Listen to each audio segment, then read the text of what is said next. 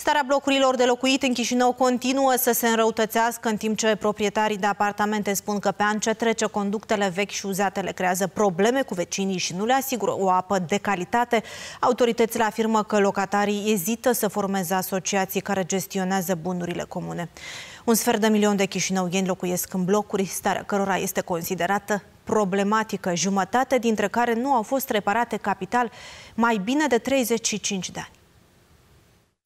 Ludmila Lasancova locuiește într-un bloc cu patru etaje din sectorul botanic al capitalei. Femeia povestește că din cauza țevilor uzate, deseori apartamentul ei este inundat. Mai mult, pensionara este nevoită să meargă după apă la izvorul de lângă casă, întrucât apa de la robinet are impurități.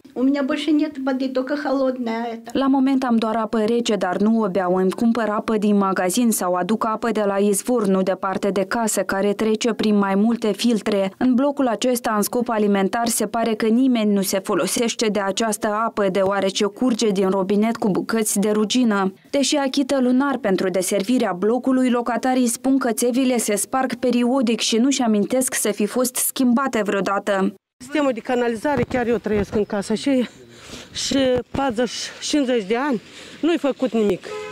Și de tot pe vechi. Dacă locuitorii singuri fac. Cum ajunge apa la robinet? Bine, vine caldă, vine răși, dar nu la toți, că noi am cumpărat, singuri am făcut, dar la alții stau chiar fără apă. Ar trebui să fie schimbate. Noi plătim, dar pentru deservirea blocului, dar eh, banii unde se duc nu se știe. Voda e greaznă.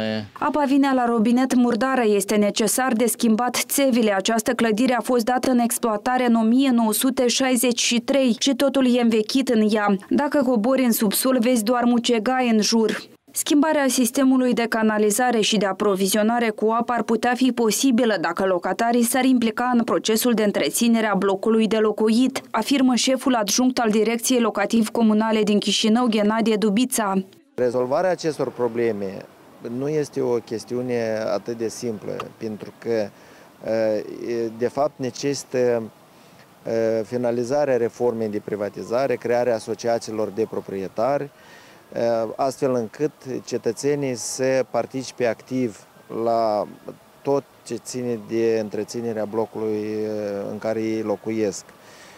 Formarea asociației și responsabilizarea cetățenilor, asta este cheia soluționării acestor probleme, fiindcă numai cetățenii în comun pot să-și soluționeze aceste probleme, primăria având rolul doar de susținere a unor inițiative.